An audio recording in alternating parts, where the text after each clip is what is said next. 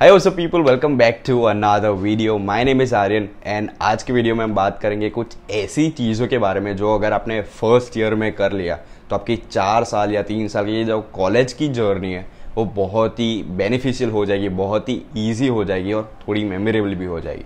So make sure you watch the video till the end and let's hop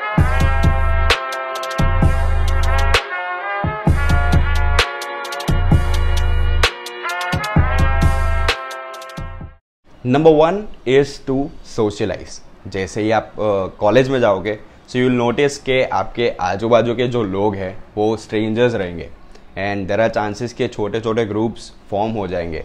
अगर कोई same city से है या फिर कोई सेम स्कूल से है तो उनका छोटा छोटा ग्रुप फॉर्म होना हो जाएगा। और अगर आप कोई अलग टाउन से या फिर कोई छोटे टाउन से है सो देर आर चांसेस कि you might feel left out you might feel alone so वो सॉलिट्यूड वाली फीलिंग को लाने से अच्छा है you start interacting with people you start socialising जिससे कि वो अकेले रहने वाली फीलिंग ना आ जाए, क्योंकि वही जो लोग हैं, वो आपकी थ्रू आउट जर्नी में आपके साथ रहने वाले हैं, वही लोग आपके साथ लेक्चर्स अटेंड करेंगे बंग भी करेंगे, कोई मूवी देखने भी जाएँगे, खाने भी जाएँगे, और साथ साथ में आप उन्हीं के साथ ट्रिप्स भी प्लान करोगे। So make sure you socialise with them and Gujarati में एक कहावत है, बोले एना बोर बेचाए। सो विच मीन्स के अगर आप बोलोगे, अगर आप बातचीत करोगे, अगर आप इंटरेक्ट करोगे सो so वो आपको सोशलाइज करने में हेल्प करेगी, वो नेटवर्क बनाने में आपको हेल्प करेगी। So just make sure you interact with people and make sure you socialise with each and every person number two is to explore I know कि आपका एक पर्पस है कॉलेज में आने का, जो कि पढ़ाई है, जिससे आपको एक डिग्री मिल के एक अच्छा पोजीशन मिल जाए अपने करियर में। लेकिन कॉलेज में आके छोटी छोटी चीज़ों को एक्सप्लोर करना बहुत इंपॉर्टेंट है।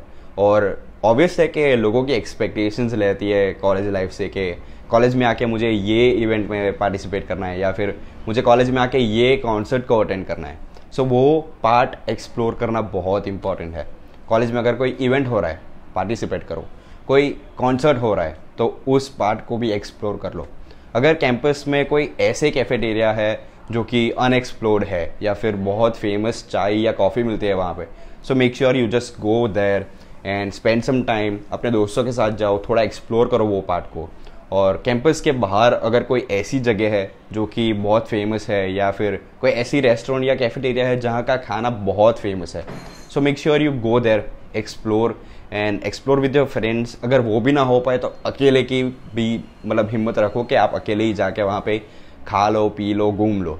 And just make sure stay hungry stay foolish and explore each and every part of college life number three is to stop comparing and start focusing on yourself I know there will be people around you which will have very fancy clothes बहुत expensive cars में आएँगी and ऐसे भी लोग होंगे जो कि बहुत एक्सपेंसिव बैग्स या फिर कोई शूज़ पहनेंगे, जो कैंपस में कोई नहीं पहनता होगा। लेकिन instead of focusing on them थोड़ा जेलसी फील करने से या फिर कोई कंपेयर करने से आपका कोई फ़ायदा होने वाला नहीं है। Instead of that just start focusing on yourself अपने आप पे फोकस करो, अपने आप के ग्रोथ और अपने आप की कंसिस्टेंसी पे फोकस करो। अपने आप की वेलबींग पे फोकस करो, जिससे आप वो सारी चीज़ें पॉसिबल कर सको, आप खुद कमा के ले सको। And jealousy is a very negative factor instead of getting jealous and comparing yourself with them जो लेवल ऑफ़ एक्साइटमेंट होगी अब जब आप खुद खरीदोगे सो so वो एक अलग ही लेवल पे होगी। So instead of focusing on them just focus on yourself number four is to learn a new skill आपके कॉलेज का टाइम ड्यूरेशन है नौ से पाँच का, नौ से चार का। अगर वो ख़त्म हो गया तो उसके बाद घर पे आके या फिर हॉस्टल पे आके you either start doing some assignment या फिर पढ़ाई कर ली नेटफ्लिक्स देख लिया, कोई फ़िज़िकल एक्टिविटी कर ली और थोड़ी अननेसेसरी चीज़ों पे फोकस करने से अच्छा है कि अगर आप कोई नई स्किल डेवलप कर लो तो वो आपको करियर को भी बूस्ट कर सकती है। साथ साथ में अगर आपकी कोई अनलेफ्ट डिज़ायर है, जो कि आपको ऑलवेज करना था कभी कभी वो इच्छा रहती है कि मैं अगर ये कर लेता तो अच्छा रहता। इंस्टेड ऑफ़ गेटिंग रिग्रेट अगर आप कोई नई स्किल डेवलप कर लो तो आपको आगे भी अच्छा रहेगा और वो गिल्ट भी ना रहे। एंड जैसे कि मैंने किया था अपने प्राइम ईयर्स में I was always into cinematics मुझे वीडियोस लेने का और एडिटिंग करने का बहुत क्रेज़ था कैसे लिया जाता है। I was curious about it तो मैं वो स्किल भी मैंने डेवलप कर ली थी। I used to play soccer in my school time तो फुटबॉल की थोड़ी स्किल्स भी मैंने रिफर्बिश कर ली थी। So the key is to learn a new skill जो आपको बोथ वेज uh, में बेनिफिट कर सके। अपने करियर को भी बूस्ट कर सके और साथ साथ में आपकी जो अनलेफ्ट डिज़ायर है, वो भी फुलफिल कर सके।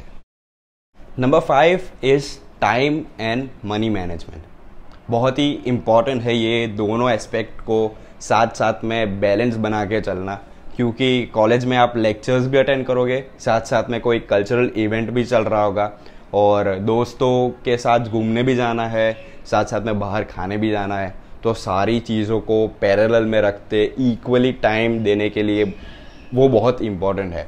And I would recommend to maintain a schedule जिससे आप प्रॉपरली एग्जीक्यूट कर पाओ and you'll easily be able to manage the time दोस्तों के साथ भी जा पाओ साथ साथ में कोई कल्चरल इवेंट में पार्टिसिपेट करना है तो वो भी कर पाओ और अगर आपको लेक्चर्स अटेंड करने हैं तो वो आप कर पाओ। एंड मनी मैनेजमेंट की बात करूँ तो वो एक्सपीरियंस से ही आएगा। अगर आप अननेसेसरी चीज़ों पे काफ़ी खर्चा करते हो so there will be a time कि अगर आप पेरेंट्स पे डिपेंडेंट हो तो वो घर से मांगना थोड़ा ऑकवर्ड रह जाता है। तो हर बार अपने पेरेंट्स से मांगना अच्छा नहीं लगेगा। And there will be a time कि आप थोड़ा फोकस कर लो अपने आप पे सेविंग्स पे फोकस कर लो। सो so, अगर आप स्केड्यूल कर लो कि ये मेरी सेविंग्स है ये मेरे पास पैसे बचे हैं सो so, आगे जाके मैं ये चीज़ों पे या फिर ये मेरी ज़रूरत है तो उन पे मैं खर्च कर सकूँ। So time management and money management is equally important so वो कॉलेज के अगर पहले ही साल में आपने सीख लिया तो वो आगे जाके लाइफ में आपको बहुत हेल्प करेगा। Number six is to have a balance I know पढ़ाई बहुत ही इंपॉर्टेंट है। अकेडमिक्स बहुत ही इंपॉर्टेंट है। अगर आपने पढ़ाई पे कुछ ज़्यादा ही फोकस कर लिया तो आप कल्चरल पार्ट को मिस आउट कर लोगे। और अगर आप मस्ती मज़ाक में या फिर कल्चरल पे ज़्यादा फोकस करोगे सो अकेडमिक्स आपका रह जाएगा। सो so, जैसे आप टाइम और मनी मैनेज करते हो वैसे ही अकेडमिक्स और कल्चरल को बैलेंस करना बहुत ही इंपॉर्टेंट है। अगर आपने इनिशियल ईयर में वो सीख लिया कि कैसे मैं बैलेंस आउट करूँ तो आगे जाके आपके लिए वो बहुत ही बेनिफिशियल रहेगा। हमने सारी ही बातें कर ली। कैसे टाइम मैनेज किया जाए कैसे मनी मैनेज किया जाए कैसे बैलेंस लाते हैं कैसे सोशलाइज करना चाहिए और क्या क्या नहीं करना चाहिए। लेकिन जो हमारा मेन पर्पस है अगर हमने उस पर ही फोकस नहीं किया सो आके जाके हमारा एकेडमिक स्कोर काफ़ी डाउनफॉल फेस कर सकता है। So number seven is to study आपके सीनियर्स भी आपको बोलेंगे, आपके प्रोफेसर्स भी आपको बोलेंगे कि अगर इनिशियल डेज़ में से ही अगर आपने थोड़ा थोड़ा जो भी सिखाया है कॉलेज में, वो थोड़ा थोड़ा रिवाइज कर लो घर पे जाके या हॉस्टल पे जाके। अगर पंद्रह मिनट थर्टी मिनट्स या फिर एक घंटा भी अपने एकेडमिक्स को थोड़ा ध्यान दे दिया सो so, आगे जाके वो स्ट्रेसफुल सिचुएशंस में आपको नहीं डालेंगे। एग्जामिनेशंस के टाइम पे देर विल बी सिचुएशंस के जो आपको बहुत स्ट्रेसफुल टाइम में डाल दे। जैसे कि मुझे भी एडवाइसेस दी थी मेरे सीनियर्स ने कि थोड़ा थोड़ा पढ़ना स्टार्ट कर देना। लेकिन I was always a last minute person कि मैं एक हफ़्ते पहले या एक दिन पहले ही चालू करता था जो कि मुझे बहुत ही स्ट्रेस में डाल देता था। एंड कॉफ़ी uh, मेरे लिए बहुत हेल्पफुल थी क्योंकि लास्ट मिनट में कॉफ़ी पी के मैं पढ़ता था। लेकिन ऐसा नहीं करना चाहिए। अगर आपने थोड़ा थोड़ा भी पढ़ना स्टार्ट कर दिया पहले से ही, सो आपके लिए वो बहुत ही बेनिफिशियल रहेगा एंड मोमेंट पे। एंड एक ईजी और अच्छा एकेडमिक स्कोर रखने के लिए थोड़ा थोड़ा पढ़ना बहुत ही इंपॉर्टेंट है।